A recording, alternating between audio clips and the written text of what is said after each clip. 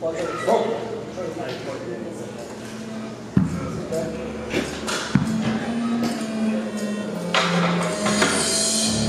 goddamn thoughts to yourself. I don't really give a fuck along with everybody else.